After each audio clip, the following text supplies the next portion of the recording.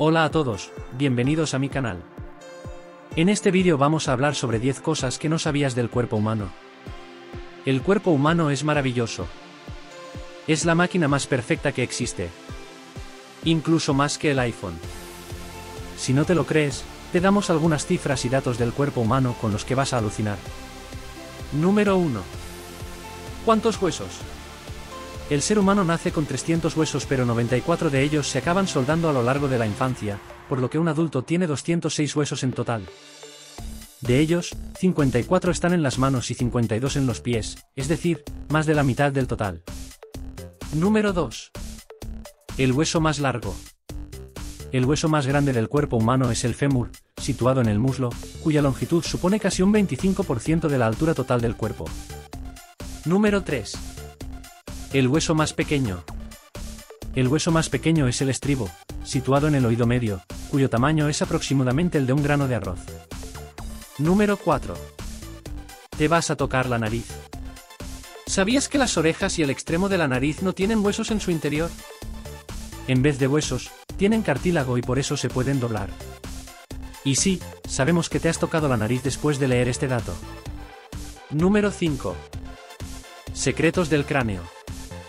Al morir, el cartílago se descompone mucho más rápido que el hueso. Por ese motivo, los cráneos de los esqueletos no tienen nariz ni orejas. Número 6. El hada de los dientes es feliz. En cuanto a los dientes, de pequeños tenemos 20 dientes de leche que, a partir de los 6 a 7 años, son cambiados por los 32 dientes de adultos. Número 7. Compensa más sonreír que enfadarse. Aproximadamente, son 60 los músculos que hay en la cara.